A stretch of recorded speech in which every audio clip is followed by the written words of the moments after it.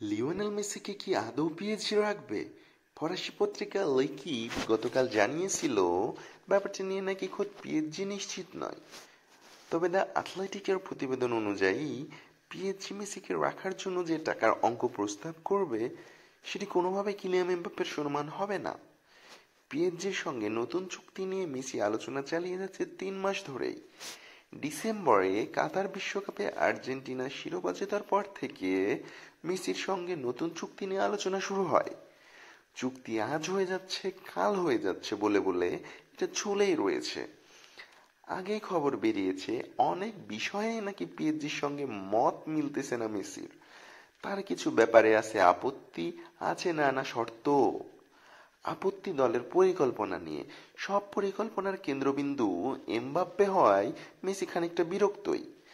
তিনি দলের পরিকল্পনায় নিজের অংশীদারত্ব আরও বাড়াতে চান। মোট কথা, মাঠে তিনি রাজা হয়েই থাকতে চান।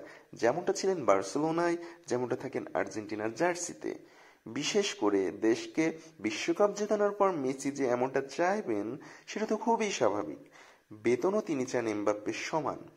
গত মৌসুমে এমবাপ্পের রিয়াল মাদ্রিদে চলে যাওয়ার গুঞ্জন ওঠার পর পিএসজি ফরাসি তারকার বেতন বাড়িয়েছে অনেকটাই। খবরে তো বেরিয়েছে, পিএসজি নাকি এমবাপ্পেকে রাখার জন্য রীতিমতো ব্ল্যাঙ্ক চেক দিয়ে দিয়েছিল। দ্য অ্যাথলেটিক জানিয়েছে, চ্যাম্পিয়ন্স লিগ থেকে বিদায়ের পর পিএসজি নিজের পরিকল্পনা নতুন করে বিশ্লেষণ করতেছে। এর ওপর উয়েফার আর্থিক সঙ্গতি নীতির খড়ক তো আছেই। মেসির বেতন আরও বাড়িয়ে উয়েফার রক্তচক্ষুর শিকার হতে চায় না পিএসজি। এরই মধ্যে মেসিকে একটা প্রস্তাব দেওয়া হয়েছে, কিন্তু মেসি নাকি সেটা মানেননি।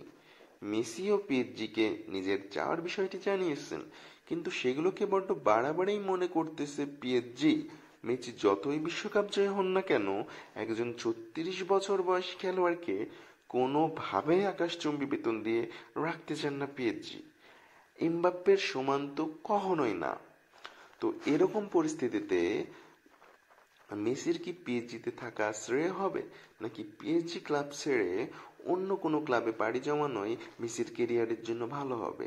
এটি আপনারা অবশ্যই কমেন্ট বক্সে জানাবেন এবং ভিডিওটি ভালো লাগলে লাইক কমেন্ট এবং শেয়ার করে আমাদের পাশেই থাকবেন এবং খেলাধুলা বিষয়ক এরকম আরও সংবাদ পেতে চাইলে আমাদের চ্যানেলটা সাবস্ক্রাইব করে বেল আইকনটি দাবিয়ে রাখবেন।